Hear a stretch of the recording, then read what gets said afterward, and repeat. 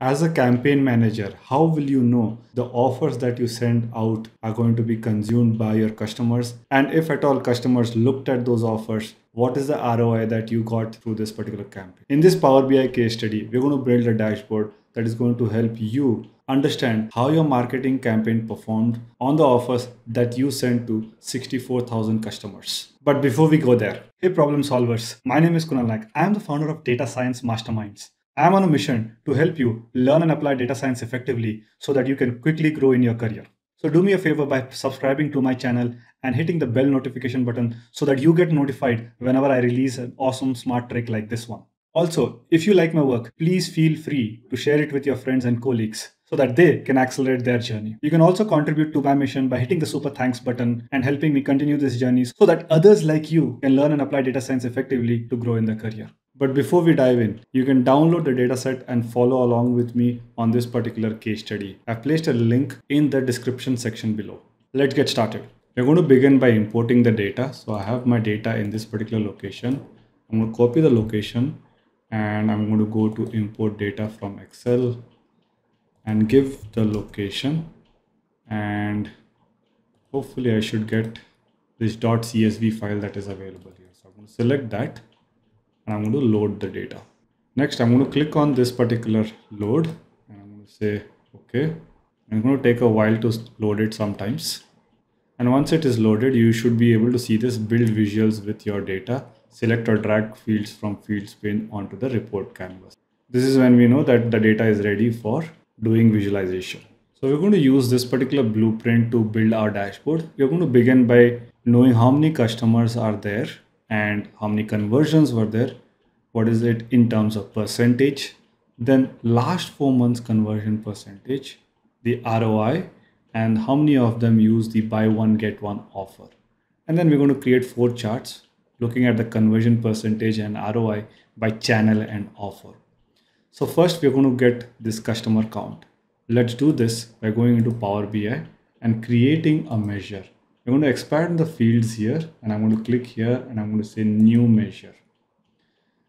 Now this is going to be customer count. So I'm going to say customer count and it's going to be calculated by saying count of and we're going to say promotion conversion here, right? So that's going to be there and I'm going to say enter. Now once I do enter, you see that the customer count comes on to this particular side and we can expand this to get a little space here and that should be good enough for us now. So we got the customer count and now we are ready to get our first KPI. So we're going to use this KPI card, the card here, and we're going to drag it to the portfolio here. Now it's going to ask for a field and so we're going to provide this customer count. I have misspelled this one so I'm just going to say rename and I'm going to give customer customer count. So that's going to be good one. Once that is done, we can then take to this particular area and put the customer count there. So it's going to give us this 64K and then we can resize this like so. So this is resized. I'm going to leave it as is uh, for now. And we're going to create another KPI, which is going to be this one, total conversions. So for that, again, we're going to copy and paste this one. I'm going to place it here. Similarly, there are four others. So I'm just going to copy and paste four of them here so that we can align them beforehand and then keep changing what we want. Okay so we have all of this. Click on this one and click on this one and all of them are aligned. Now in case we need to do some alignment we should be able to do it little later on. But we have the six kpis and now it's also good time for us to keep a title so that we can all be in good sync I'm going to put a text box on top of it here and we're going to say here what's the name marketing campaign promotion performance. Marketing promotion performance.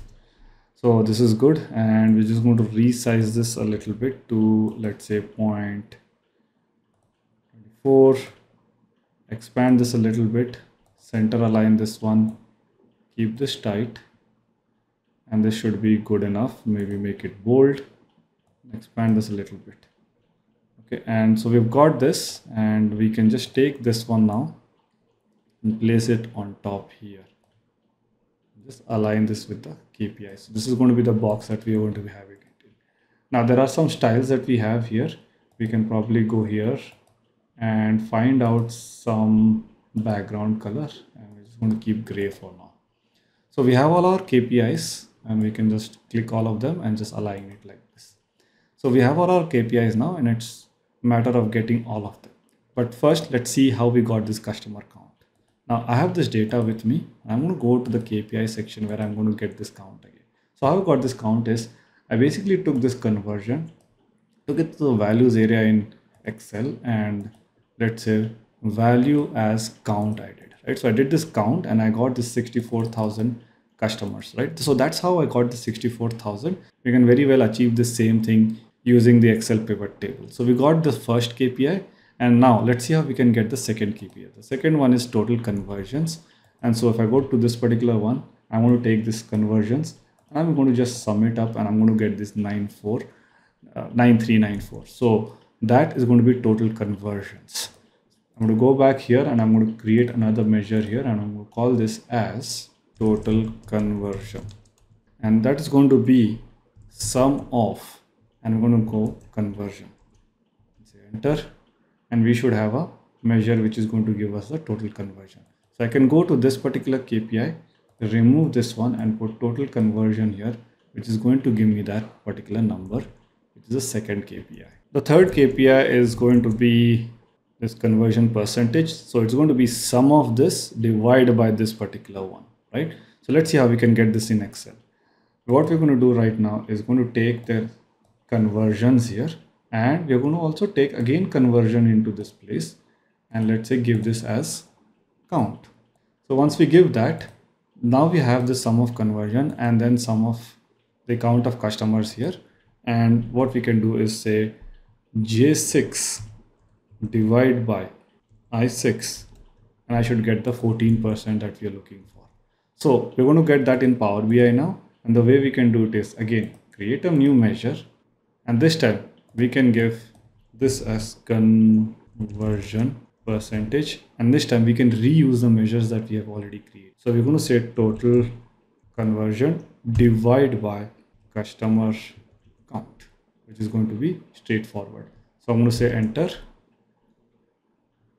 and we have this conversion percentage. Now I can just remove this and put this con conversion percentage here. Oh, my bad. We should do it on the right KPI. Ensure you're selecting the right KPI. And I'm going to select that and I'm going to put conversion percentage here. But this is not formatting in the right way. So to format it, I'm going to select the conversion percentage KPI here. And I'm going to choose percentage here. Now it's going to be with two decimals. So I'm just going to remove one of the decimals and have this 14.7%, which is good to go. In fact, let's format this one also, which is the total conversions. And we're going to give a comma separated value here. And we'll have this comma neatly available. So we've got the first three KPIs. And now we need to get the next three, which is going to be last four months conversion. Now, how do we get last four months conversion? Last four, four months conversion can be gotten by doing the same calculation. Okay, but only the difference is going to be that we're going to add a filter which is going to give us the last four months conversion. And to do that, we're going to use recency into the filters area and we're going to select one, two, three, four and say okay and it should give us this 17% which is what we want. Now we need to make the same calculation within Power BI. So we can say last four months conversion percentage. So I'm going to go to this one and we're going to create a new measure, say new measure, and it's going to be last four month conversion percentage. Now the formula will be total conversion divided by customer count but this will give us only conversion percentage. So to filter it only for the last four recent months what we're going to do is use a calculate function. And then we're going to give the filter criteria here. So we're going to choose recency should be less than equal to 4 months and close the bracket. Notice we are doing this calculation for a filter which is recency less than or equal to 4 months and that's where that calculate function comes in. I'm going to say enter and I'm going to select the fourth KPI here and we're going to go and take the last four conversion in place of customer count. Now again, same formatting issue. I'm going to click this one and say format, reduce the size and we should have the last four months conversion percentage. Next one is going to be the ROI and used BOGO. Now the ROI is gotten by multiplying $25 into the number of conversions that are there. So we're going to create a new measure and take all of the conversions and multiply 25 to it. So this is what's happening. I go back to Excel and I go to this ROI calculation. I'm going to take conversion here, which is going to give me the 9394 conversions. I'm going to take the $25 here and we can format this to be a dollar. Let's say something like this. And then we're going to say Q6 into 25 here. Now that's the ROI to 34K. That is what we want to get here. I'm going to say new measure and this is going to be ROI. It's going to be total conversion into 25 right? So this should be a simple calculation. Now we have this measure and we can put this in place of customer and then we can place this in front of customer count and this is going to be 235k that is the number we saw here.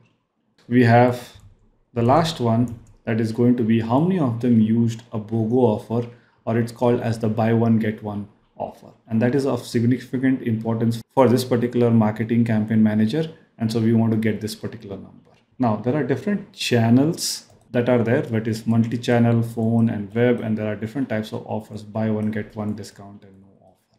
We just want to get buy one and get one. And fortunately for us there is going to be one column that indicates this. That is this used BOGO so we can just sum up this and we can get our KPI so if I go to this KPI chart and I'm just going to say used BOGO it's going to be 35,182 of them right? So that is what we're going to get. And so we're going to go here right now.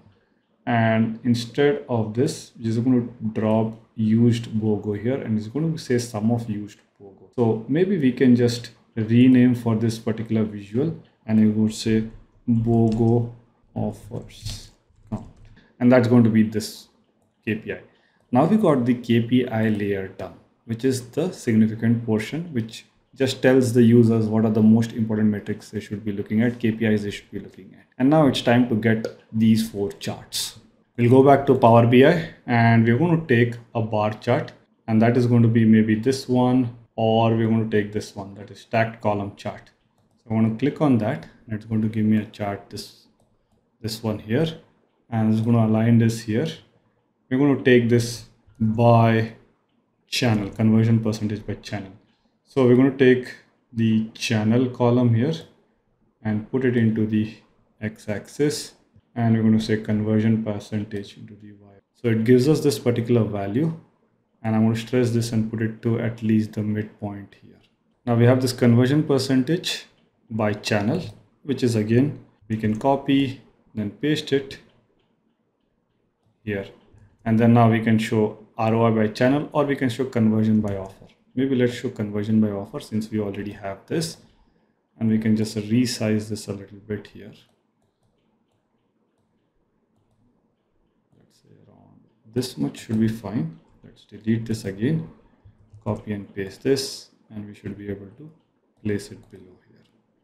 Now this is going to be by offer so we're going to take offer here and replace it in this place or maybe to the x-axis so I'm going to remove the channel. And so we have conversion by offer and channel. And we can now copy these two. Paste it and replace, organize this a bit and then replace the KPI, which is going to be this time going to be on the here maybe we want to show the ROI so that's going to be better and so I'm going to remove this and show ROI for both these charts which is just going to even out it. And so now we have this particular dashboard where we have marketing campaign, promotion performance, we have all our key KPIs, and then we have our charts. Now, the next step is to make it a little bit beautiful. And so the way it works is you just strip off all the other details and it will look better. So let's do that one by one. We'll begin with this card and I'm going to select that one and go to format and maybe give out, let's say some general formatting, which is let's say effects, let's say visual border, and I'm going to say on. And we're going to give a very slight border like that.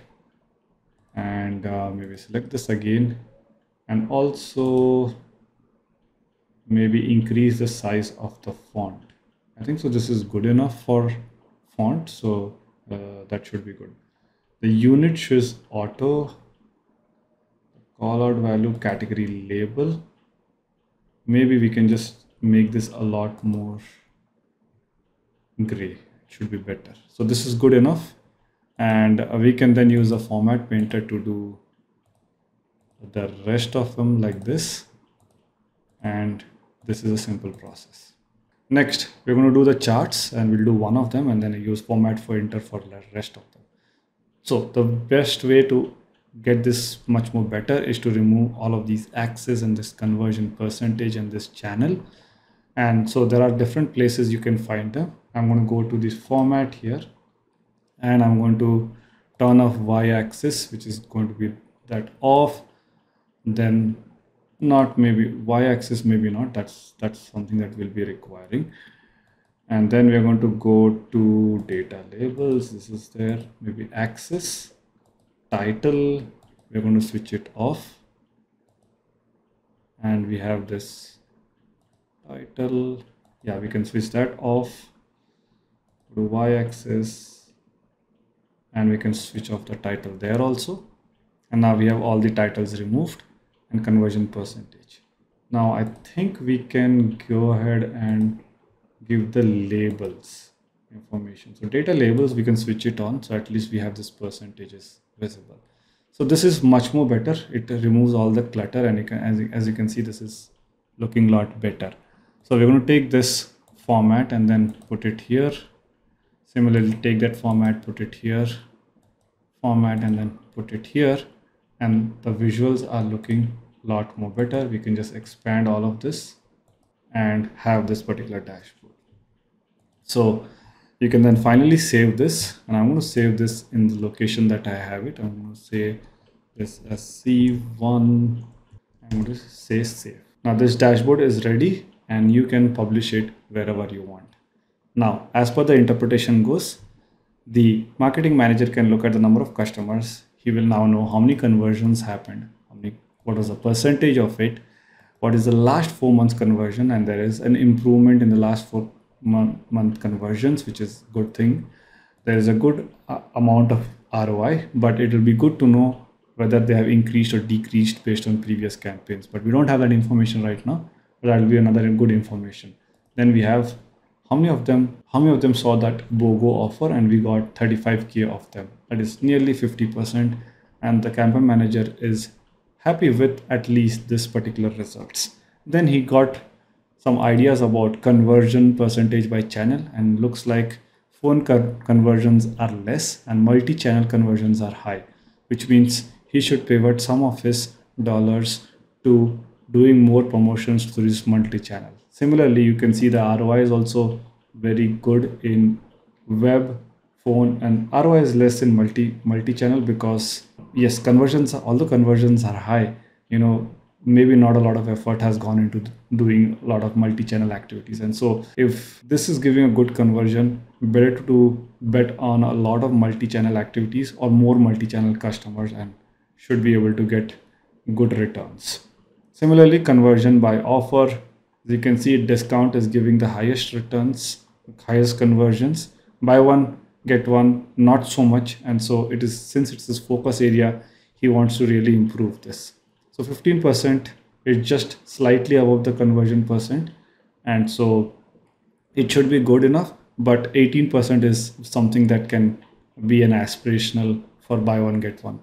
And then next obviously ROI by offer and you can see discount. Again gets the highest amount followed by buy one and then no offer. With this particular detail the marketing campaign has basic information of how his campaign has performed and what he needs to do next to improve the ROI. Now that you know how to build a Power BI dashboard, it's time for you to work on another case study and build similar dashboard. Thank you for watching this video guys. Now if you like this particular video, I have another video on Tableau that is building the ugliest Tableau dashboard. So I want you to check out that particular video and see you in the next video.